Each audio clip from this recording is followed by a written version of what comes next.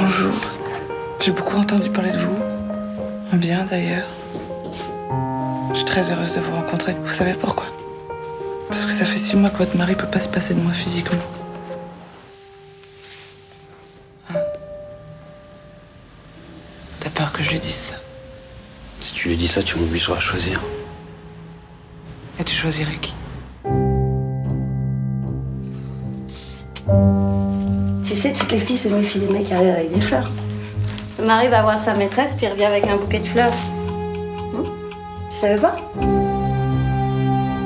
Je me sacrifie pas, c'est mon choix. Non.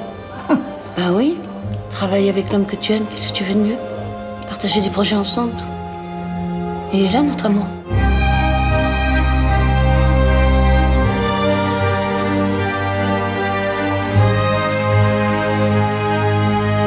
De toi Pourquoi tu dis ça T'es dégueulasse.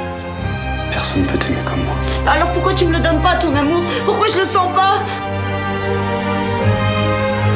Qu'est-ce que tu ferais si elle te trompait?